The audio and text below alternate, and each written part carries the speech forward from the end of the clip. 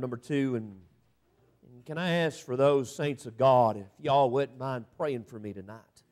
And um, I would surely covet your prayers in a mighty way because I feel like within my heart that there's a battle going on inside this church tonight. And I want to see God wrought the victory tonight. And, um, and I don't know if anybody else feels that. But I sure do tonight, and it may be me, I don't know. But I feel like there's a struggle taking place inside the recesses of this wall, the four walls we've got here tonight. And I'm just going to plead the blood on it. That's exactly what I'm going to do. And, and uh, we're just going to give it to the Lord. And like we looked at the other night, and the Lord wrought a great victory, and I'm just going to claim that tonight. Song of Solomon, chapter number two, and I'm going to read the entirety of the chapter. It's just 17 verses but um, we will key in on a thought. Verse number one says, I am the rose of Sharon and the lily of the valleys. As the lily among the thorns, so is my love among the daughters. As the apple tree among the trees of the wood, so is my beloved among the sons. I sat down under his shadow with great delight, and his fruit was sweet to my taste. Hmm. He brought me to the banqueting house, and his banner over me was love. Stay me with flagons, comfort me with apples, for I am sick of love. His left hand is under my head, and his right hand does embrace me.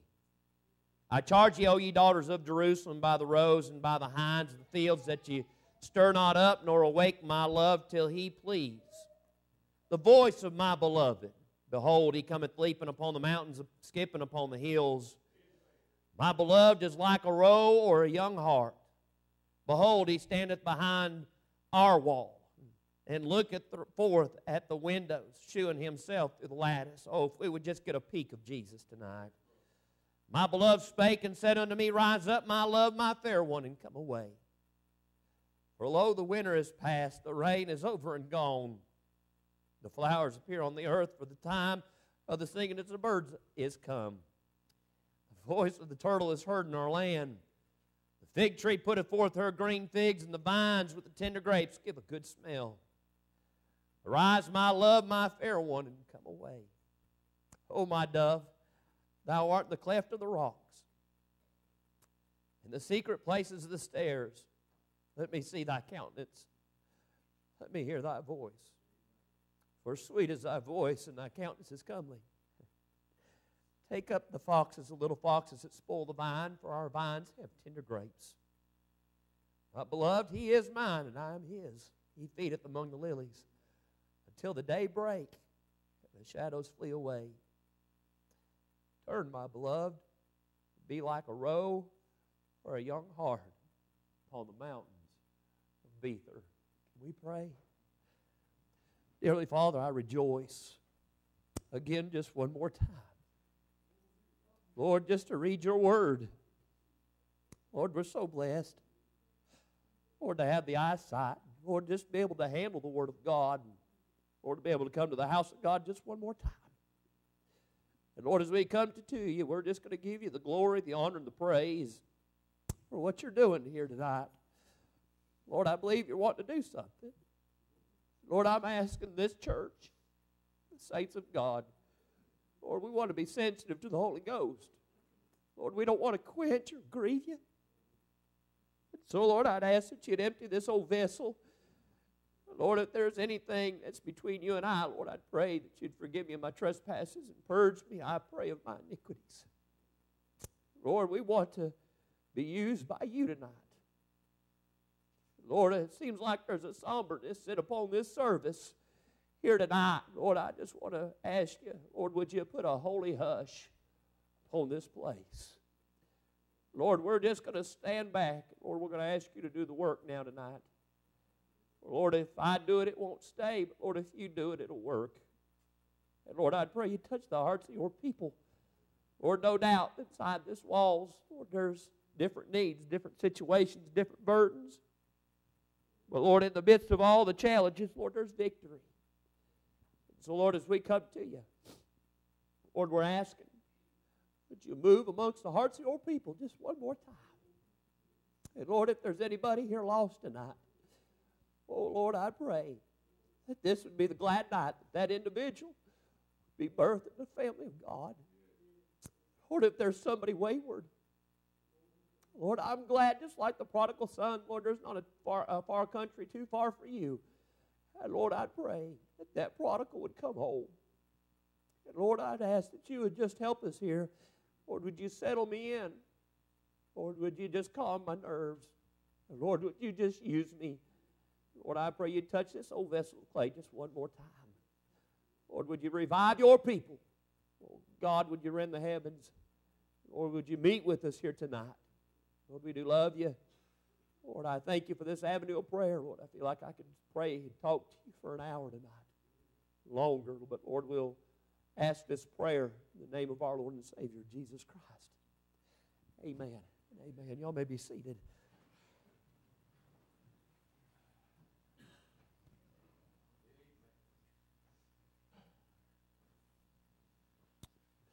I love the book of Song of Solomon. It's probably one of my favorite books out of the Old Testament. And I've read through it quite a few times. I've got quite a few messages out of the book of Song of Solomon that God's given me over the years. And if you keep it in the right context, it's a beautiful book. But there's so many people that has perverted a book that's never meant to be perverted. It's a beautiful story of Christ and the church and if you just go through and you read and you just ask the Lord to show Himself out of the verses, you'll run into Christ numerous times in the book of Song of Solomon. And if you're reading, ever read through the book of Song of Solomon, and one of the things that's there that's opened it up to me when you're reading through it is that when you come across the word beloved, it's her uh, speaking to him. And when he says, my love, that's him speaking to her. Boy, there's something I like, and it goes back. And if you just take the Song of Solomon and you just read it very slowly, and you see where it transitions to where he's speaking and then she's speaking, and how they communicate back and forth, and how we get to chapter number two, and it comes across in verse number 10, and it says this, or verse number 8, and it says, The voice of my beloved and I want to look at that thought tonight with the help of God. And it's a message I haven't preached in quite a while. But I want to look at a thought here tonight. Behold, what a voice God has. Behold, what a voice God has. And you say, Does God have a voice? Oh, sure, He's got a voice. And there's some voices that I like to hear that I'm very prudent to, and I like to listen to them and, and, listen to them daily. I like to listen to my children. I get up in the morning now. Uh, since Brian has changed my schedule, I get up before they do, and I leave the house before they get up. But usually it was they were getting up before Daddy did, and I'd listen upstairs, and I would listen to hear the sounds of my children and their sisters, and they get along pretty well, and there's moments that they have, but I, I listen sometimes just to hear their voice. And boy, what rejoicing it is in the morning, and when you come through a night of rest and you hear that both of your children are up walking around the house and you can hear their voice, and I love to hear that voice. I love to hear my wife's voice sometimes. Say amen right there. But, uh, but my, my wife's voice is something I like to hear, and there's nothing like my wife's voice. And there's, uh, I like to hear her talk to me, and I like for her to tell me, I love you, and I like to hear her talk to me in a, and that endearment and that in, in intimate times and how she communicates to me and her names that she has for me. I like to listen to that. I love to hear my mama's voice just one more time. Boy, I'd listen to my mama's voice, and I've got it on recording. And Every now and then. Oh, I'll go back. Just listen to my mama just one more time. There's nothing like it. It never failed when I left my mama at the nursing home. And my mama would always say before I left, never without fail, Dr. Whittemore, never without fail. My mama would always tell me how proud she was of me. And I've often wondered, Mom, how can you be proud of me some of the times I've let you down? And even in the midst of my times of letting her down, he'd always say, Son, I want you to know I'm proud of what you've become. And to hear my mama's voice just one more time. Oh, it's going to be a day because my mama's in heaven. And uh, one of these days, glorious days, I'm going to hear her voice another time. It won't be that weak voice of Parkinson's disease, and it'll be a strong voice, amen. But most of all, I like to hear God's voice. And uh, there's nothing like it. And boy, I'm telling you, you say, does God speak to his people? Oh, yes. Oh, does he ever speak to his people? And you say audibly, it's much clearer than that. And uh, she was writing as we were coming through. She said, Behold, the voice of my beloved. And does God have a voice? Oh, yes. We can go to Genesis chapter number one and verse number three, and God says, Let there be light. And He spoke this whole world into existence. And He said, Let there be light, and there was light. And boy, we can go through and see where Moses was at the burning bush, and he come across Jehovah, and he was he met the Lord in that burning bush, and he told Moses to take his shoes off his feet, for he stands on holy ground. Boy, how he spoke to Moses in the burning bush, and how he says, Tell him, I am that I am has sent thee. And boy, that was God's voice. Boy, God does have a voice. And I want to look at that tonight with the help of the Lord. Behold, what a voice God has. What a voice God has. Number one, we see that voice, God has a voice of compassion. Here we see in Song of Solomon, chapter number 2, and verse number 10, it says, Behold, my beloved spake and said unto me, Arise up, my love, my fair one, and come away. And in your King James Bible, that phrase, my love, my fair one, come away, is only used two times in your King James Bible. And it's used in verse number 10. And if you'll go down to verse number 13, it's used again, my love, my fair one, and come away. And so it's used two times in your King James Bible. And and so it's pretty significant that God would put it back to back like He did in Song of Solomon. It's not there by accident. And when God says something one time, you listen, but when He says it twice, there's something very important God's trying to get across to us. And He says, My love, my fair one. And that's a voice of compassion. And, and, and it talks about how God is looking at us, and it says, My fair one. And that, that term or uh, what that means. It means this, my fair one. It means to be beautiful. It means to be clear from spot. And boy, if you were to look at me, I'm not the most prettiest thing to look at. Don't say amen right here. It's not a good time to do that. But I tell you, if you were to look on me, I'd never make it on a magazine of, of some of the top 100, whatever they got, sexiest men in the world. I'll never make that list. Say amen. Some of y'all ain't either. and so I'm amongst a good company, amen. But I'm telling you, when God looks at you, he says, he says, my love, it means that you're beautiful. You're something and you're free from spot. In other words, God don't see anything in you whatsoever. And, and how do you get beautiful? Well, Song of Solomon, uh, it tells us that it says in Song of Solomon chapter 4, God, I pray you'd help me tonight. It says in verse number, or chapter number 4 and verse number 7, it says, Thou art all fair, my love. There is no spot in thee. In Song of Solomon chapter number 6, verse number 9, it says, My dove, my undefiled, is but one. And so when he's looking at us, he don't see what we used to be. He sees us because we've been saved by the grace of God. And when he looks at me, he don't see what I used to be. He sees me covered by the blood of Jesus Christ. Amen. And I was I love to hunt. It's something I like to do. Don't get to do much of it anymore because of the schedule, and I'm fine with that. And but one day I was hunting and I got some blood that was spilt upon my pant legs and my hunting pants, and, and I was sitting there and I had them still there, and I went back in the woods and that blood was still there, and,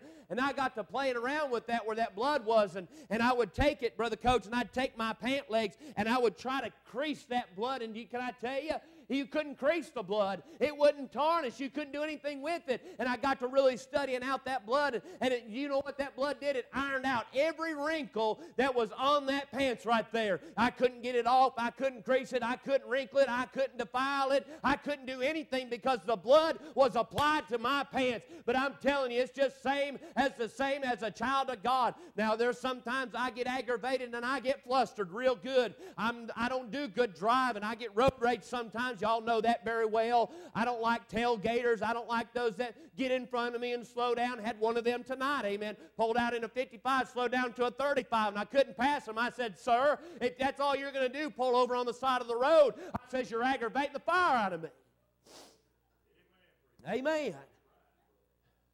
And I get flustered and I get mad. I fly off the handle. I've got a short fuse sometimes. And I mean, you can ask my wife. I mean, I, my, sometimes I, my ears are smoking and because I get aggravated sometimes. And it's something that God's helped me with over the years. But every now and then my flesh still rears its ugly head up.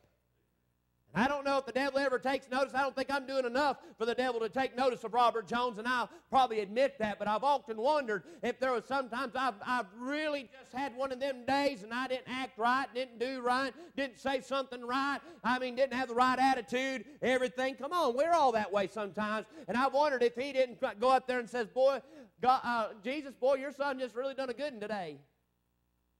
God the Father looks over at God the Son. I don't know if this happens or not, but just let me run with this just for a little bit because I like it.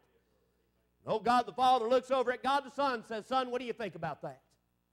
He looks over at the portals of glory and looks down to where I'm at and he says, Father, are you talking about my beautiful one? Are you talking about my fair one down there?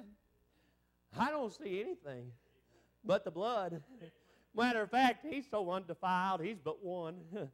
He's a, he has no spot in him. He's just so beautiful. Boy, I can look at him all day long. And that's what he was saying about this woman. He says, My love, my fair one, and come away. He is looking at her. And boy, if you go to chapter number one, verse number five, I believe it was, and she says, I am black but comely, O ye daughters of Jerusalem. Verse number six, she says, Look not upon me, because I am black, because the sun has looked upon me. You remember the day you got saved by the grace of God? Boy, I remember at Fletcher First Baptist Church there in Fletcher, North Carolina, under the leadership of Pastor Roy Waldrop. I sitting back about third uh, stained glass window there at Fletcher. Boy, I mean, he got to preaching on the power of God that morning. I'll never forget it. I was telling, I was sitting there, I was just asking him, boy, I can't wait for you just to just to sort of hush up so I can go. I've never been to an old Baptist altar until that Sunday morning. Boy, when he said, "Let's stand," I come up out of that old out, that pew, come down to the left side of that altar. I felt nasty. I felt defiled. I felt just, I mean, I was just dark. I mean, I felt filthy. I felt everything. And boy, when I went down there and got saved, I stood up. I said, boy, there's something different about this. And ever since that day, amen, God didn't look at me after that point the way I used to be. Now he looks at me and says, there's my beautiful one. There's my fair one. There's my love, amen. There ain't but one like him, amen. And boy, there's sometimes it's just them terms of endearment, and God speaks to his child. I'm telling you, he loved on me this morning inside that control room of WGCR. Oh, it was getting tight. Boy, I like it to hear the voice of compassion.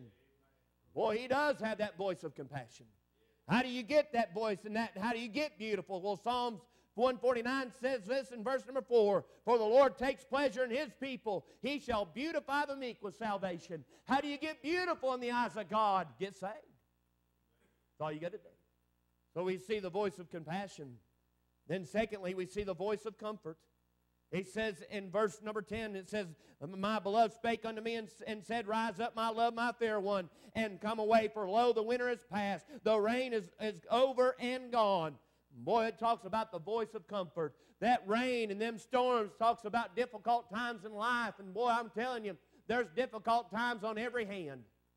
Mean, we're living in the days of nothing but problems and discouragements and disappointments and dark valleys and, and everything we're going through. I mean, just take calls. I mean, I took a call from a, preacher today was coming uh, uh, this afternoon, and he was talking to me and telling me about some things with his wife and the storms that she's going through and, the, and what she's been facing over the last eight to ten weeks. And it's really starting to weigh on him. And, and boy, he's really just going through a lot. And he told me, I'm tired, Preacher Jones. He says, I'm just wore out. He says, and he started to tell us about some of the things he's going through. And, and boy, I'm telling you, what he needs to hear is the voice of comfort. I'm telling you, there's going to be those times, but can I tell you, that's one thing you're going to have to start listening for when you get in those times of trouble and that time of discouragement, those times of dark valleys, that time of the shadow of death. I'm telling you, you can listen to God in them times of your life and He'll speak to you just like we see here when the, when the disciples, Lord, I'm asking for your help tonight. They're in the book of Mark, chapter number 4, verse number 39,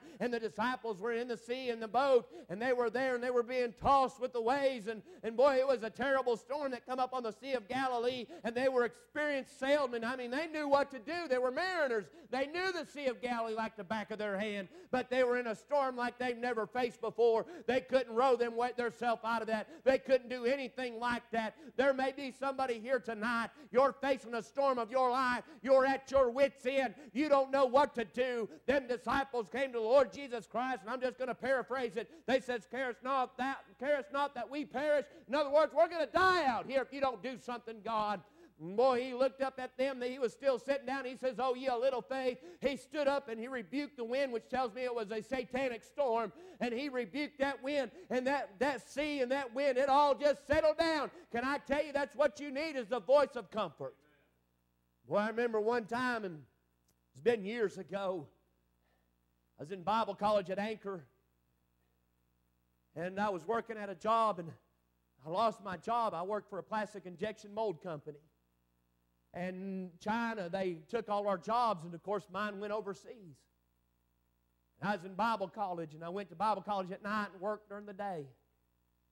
Well, I lost my job, and of course, money was getting tight. Had a young girl, had a young child at that time, and of course, I believe the husband should be the, should be the keeper of the home, and I still believe that's still scriptural today. And I had my wife I was responsible for, my child I was responsible for, and money was getting tight, and Every time I try to fix it, it'd get worse. You ever tried to do that?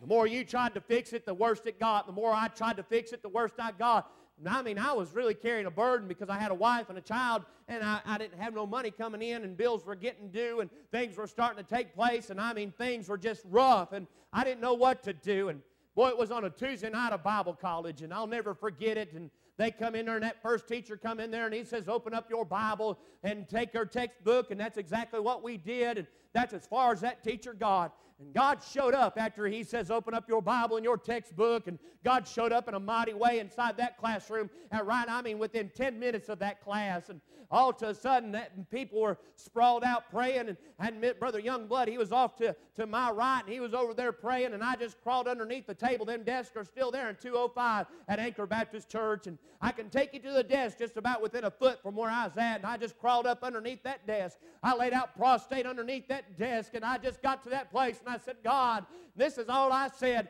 I said, Lord, I can't handle it no more. And I mean, that's all I said. I was at my wits' end. I was crying that night. I was just needing something from God. It felt like God crawled up underneath that desk that night, put his arms around me. I, I just felt like I felt his arms wrap up around me that night. And he just said in that small, still voice, he says, This is what I've been waiting for. I've been waiting for you to call on me like this. He says, I've got it from here. If you just let her go. Boy, I'm telling you, I got up. God met with us for four hours that night. We were in the holies of holies. I didn't, I didn't come out from underneath that desk for four hours that night. God just loved on me. Just He took His time with me that night. Boy, I'm telling you, He's rubbing the balm of Gilead in my soul that night. He was whispering sweet peace and sweet loves down underneath that desk. Boy, I needed it that night. I was in a restful storm. I was at my wits' end. All of a sudden, God showed up and He says, I've got it. And I said, Well, praise the Lord. I got home that night. I went and woke my wife up. I believed it so much.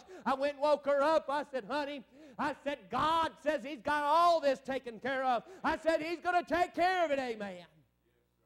Did He? Oh, yes, He did.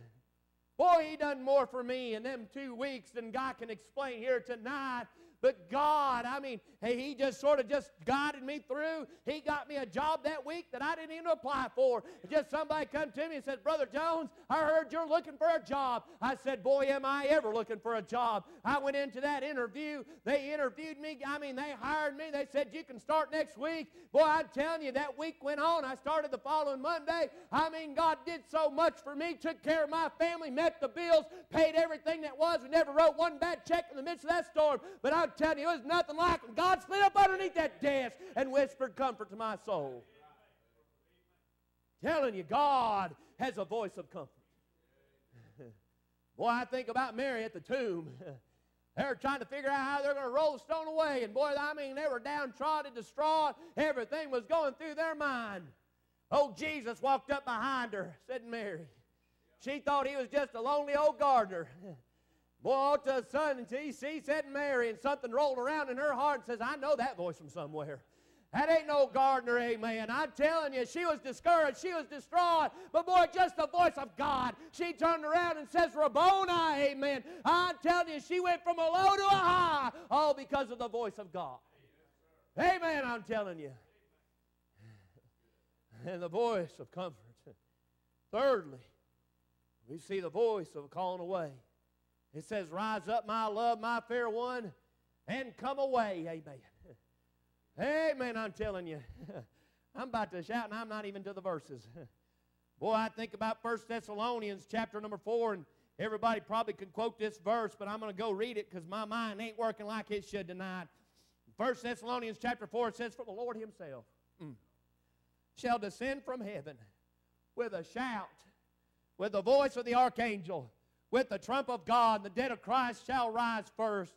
Then we which are alive and remaining shall be caught up together with them in the clouds to meet the Lord in the air. So shall we ever be with the Lord. Wherefore comfort one another with these words. Boy, John was in the Spirit on the Lord's day, and he wrote all them letters to them churches. But boy, you get to Revelations chapter number four, and it says something like this. It says, Come up hither, amen. Oh, John, he was caught up in the heavens, amen. Started writing down some things that's fixing to take place, amen. Boy, one of these days there's going to be that calling and calling away, amen. And I got the bright idea in my, my bedroom, and we live in the country. I mean, you can't see my neighbor even though I've got one, and I mean, you, well, we lived where you can leave your blinds open. Say amen to that. I like it. And I got the bright idea, and I told my wife, I don't know what I was thinking, but I said, let's move our bed. I said, let's point it to the east. She said, what for? I said, well, if the Lord comes, I don't want to have to turn around. Say amen. So we did that. I don't know what I was thinking about a man moving furniture. That was stupid, stupid, because you never put the dresser in the right place. I bet you I moved that dresser and that chest of drawers I don't know how many times. I just wanted to move the bed. Boy, I'm telling you, I just wanted to turn it. Just, just place her to the east, amen. Well, we got that finally done, and one night in the middle of the night, all of a sudden we were sleeping, and and uh, we live by the airport, but the planes always come west to east. They never come any other direction if they come towards my house. And it's in the middle of the night, and all of a sudden, my room lit up. And I live on a two story house, so for my room to light up, it's a miracle. And all of a sudden, this bright light shined in in my room. Well, I shot up straight up out of the bed with my hands held up like this, and, and I was doing this, and nothing was a happening. And uh, my wife, she started to finally come to and said, What's wrong? And I finally figured out the plane come from the other direction. Turned on a big floodlight and lit up my room like none other. And boy, I was mad that night. I said nothing. I said, I thought the Lord was coming. And I said, now I'm disappointed and mad. It's not Him. Oh, Old D.L. Moody's got a great message on heaven, a two part message. And I've read it over and over again. It's beautiful. And inside that message, he was a chapel of a for the soldiers, war going on. Inside that place where he served was the, the place where these soldiers were mortally wounded. And that's where he served. And he just went through and in that story on what he was saying is that it got quiet inside that, that room that morning. He says it was deathly quiet. He says it was unusual. He said there was no no death rattles, there was no moaning, there was no groaning. He says, an unusual morning. And he was sitting there just silently going by man to man, and he was praying over everyone. And he said, all to a sudden, the silence was broken with this Here, here, here. Oh, D.L. Moody and that sergeant that was inside that room, one, run to that boy and said, Son, we're here. What's wrong? That old boy just said, Here, here. Oh, old D.L. Moody, he got a hold of that boy and said, Son, we're here. What's wrong? What's the matter? And that boy just kept calling, Here, here. Oh, old D.L. Moody said, Son, we're here. What's wrong? And old D.L. Moody said, That boy finally come to. And when he come to, he looked at old D.L. Moody he says they were calling the roll up into heaven and they just called my name. I was just saying, Here, amen. Here, Here, amen. And that boy just started to holler out, Here, here. And his voice started to trail off, amen, until his final words, I'm telling you, we sing that song when the roll is called up yonder. I'll be there, amen. I'm telling you, one of these glorious days, God's going to call my name. I'm going to stand up and says, Here, amen. Here, amen. I tell you, there's a voice of a calling away. We're going to see our loved ones one day, Miss Coach. I'm telling you one day, because God's going to call us up out of here. Amen, I'm telling you. Boy, I can't wait to see mom and daddy. But most of all, I can't wait to see him, the Lord Jesus Christ, the one that saved me by his grace. I'm looking forward to that voice. Amen. Amen, I'm telling you. There's a voice of a calling away. I need to hurry. There's a voice of certainty. Amen. A voice of certainty. What do you mean by that? Well, what God says, God means, amen. God, it seems like today in our Baptist churches, we think God's going to bend the rules because of who you are. Can I tell you, you're oh so wrong. God's not going to bend no rules for you just because of who you are or what church you belong to or what position you hold in this church. Amen. But I'm telling you, God has some things that's written out, and the Bible still says, Thou shalt not steal. Guess what? It still means, Thou shalt not steal. Thou shalt not commit adultery. It still means today, Thou shalt not commit adultery. But yet we're still trying to see if we can get away with it. Matter of fact, we got such an epidemic in our Baptist churches on that very one about Thou shalt not commit adultery. I'm telling you, we're bringing in our churches. Amen. Amen. I'm telling you, my girls, what daddy says, daddy means even a little pony. Amen. Daddy says you're getting a whipping, getting a whipping. I'm not one of these in Walmart. Now, Junior, if I get to five, you're getting a whipping. I've never done that, not one time with any of my girls. Matter of fact, I never give them a countdown. Amen. I've whipped both of them. Amen. Don't get quiet on me. It's hard. I finally figured out what mama's meant when she says it's going to hurt me worse than it hurts you.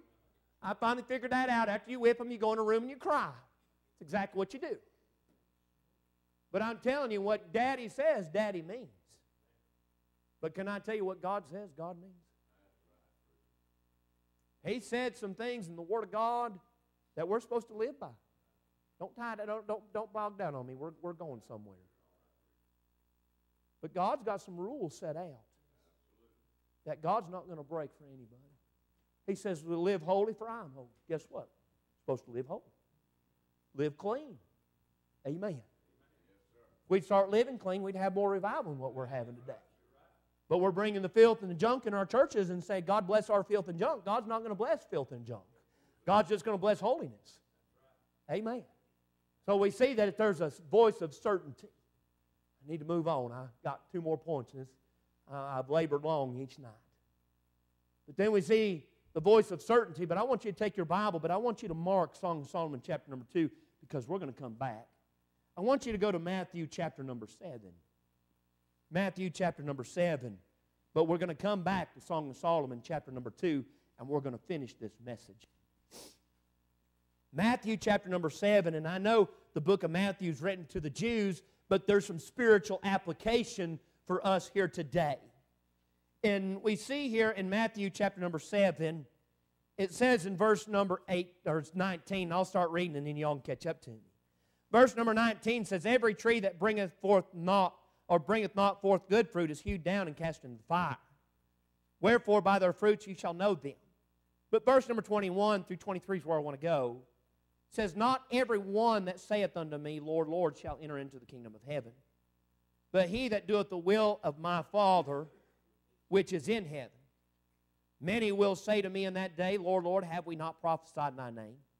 And in thy name have cast out devils, and in thy name done many wonderful works.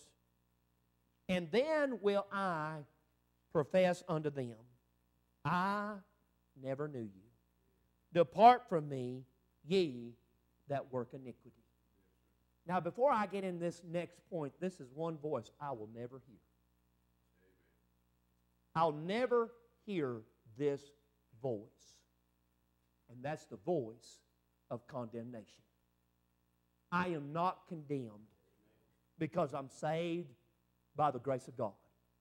And if then you are in here lost tonight, can I tell you, you are condemned. This is one voice right now that you are going to hear, unless you get saved by the grace of God. We got a lot of people, and I'm not here to make you doubt your salvation.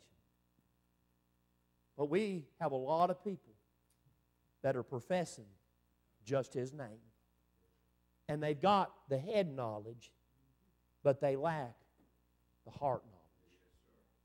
And they're lacking 18 inches, is what's separating you from heaven to hell, is 18 inches. I was in a village above the Arctic Circle. We were staying in the in the count what was a the tribal council's office. That's where we stayed. That's where we slept. And at seven o'clock, we had to go there because it was a dangerous village to be in. And I had my wife and my two girls with me in this village. And the council told me after seven o'clock, no later than eight, lock the door. Said, no problem. So we did. I was in that council's office, and they had a big billboard inside that office. And I started to read what was on that billboard, and they had a list. If I knew I was preaching this tonight, I'd have brought that list. Still got it. And they had a list of 10 things to confirm your way into heaven. And I started to read that list, and I'm going to do some of them by memory. The first thing they had on there, they says memorize the Ten Commandments. And I says, well, I'm for memorizing Scripture, but that don't get you into heaven. You can know John 3.16 from beginning to end and end to beginning and can quote it backwards, and it still won't get you into heaven. And they had write a essay on John 3.16. It's what they had, a one-paragraph essay on John 3.16. I said, well, that's pretty good. Most preachers can't preach on John 3.16. And they had some other things, but on the bottom of that list, this is what they had visit a nursing home. And I says, Why?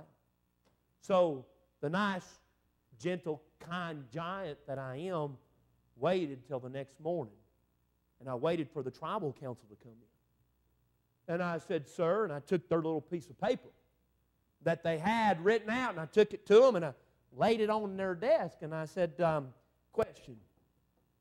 I said, I was reading your list on how you said 10 ways to confirm your way into heaven. I said, Y'all believe this? And they said, Sure do. I said, uh, Got a problem. I said, Number 10, it says you need to visit a nursing home. I said, Where's the nursing home?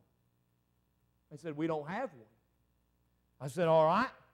I said, Second question. I says, the, the young folks in this village, I says, y'all are poor, aren't you? They said, very poor. I said, out of all the people that you got living in this village, I said, how many of them are going to get on a plane and go to Fairbanks? He says, and he thought, because I had them and he knew it. He says, not many of them. I said, so what you're saying is that you doomed everybody to hell because they're never going to make it to a nursing home. I said, Sir, it's going to be sad. They're going to do all nine and not fill number 10. I said, They're going to stand before God and they're going to say this Have we not? Have we not? Well, it got quiet in here tonight. This is the battle. I wonder who might be sitting in this congregation tonight trying to talk your way into heaven. Lord, I'm on the church roll. Lord, I went to revival every night. Lord, I put my money in the in, in the in the offering. Lord, 10%, just like you said. Lord, I, I, I went to Sunday school. Lord, I, I, I told people about you. Lord, I, I, I, I've done this and, And boy, I'm telling you, we're raising a bunch of people in our Baptist churches of just nothing but have we nots. There may be somebody in here tonight, you're saying, you might be one of them, have we nots. And you're trying to justify your way into heaven by what you're doing. Re- re- the relationship with the Lord Jesus Christ is not do, do, do. That's what most religions are. You got to do this. You got to do that. I was raised Catholic. I done told you all that. And I went to a Catholic camp one summer because that's the way I was raised. And there was a so called nun that was there that was teaching us, and I never forgotten it. And she had a rock in her shoe. And she says, and, and, she told us, all of us, she says, I've got a rock in my shoe, and she says it's painful, but it gets me closer to God. And I look back at that and I'm like, no, it doesn't. It just gets you a hurt foot. It didn't get you no closer to God at all. And there's people just like her sitting in our Baptist churches doing the very same thing. And you're dying, and you're going straight to the pit of hell. God is going to put his finger in your face. You're going to see his glory and his holy glow. And that's the last thing you're going to remember when he kicks you off in the lake of fire. I believe you're going to see his glory shine through the holes in the hands. And he says, Depart from me, you workers of iniquity. I never knew you.